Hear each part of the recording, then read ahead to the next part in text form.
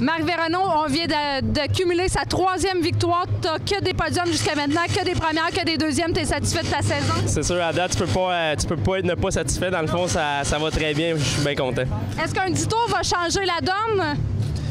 D'ailleurs, un petit tour. Un petit tour de plus? Oui, ben c'est sûr, c'est le fun d'avoir un petit tour de plus. Euh, c'est toujours le fun d'avoir plus de tours. Mais non, ça, ça a été bien correct. Malgré ça, t'as pas perdu de temps. Première relance, c'est dans le top 5 et ensuite au tour 8, t'es premier. Ouais, ça avait été. Comme je disais, moi, j'ai eu la track que je voulais. C'était encore une track euh, sèche qu'on a eue aujourd'hui. J'étais sûr que ça, ça allait été le contraire, puis qu'il a mouillé quasiment toute la semaine, dans le fond. Fait que, euh, non, euh, je suis bien content. Encore une bonne voiture qui montrait des bons signes jusqu'à la fin? Ouais, jusqu'à la fin, je savais que j'avais une voiture performante, fait que j'étais allé jusqu'au bout. On te souhaite d'y aller pour le championnat. Merci beaucoup. Je te remercie.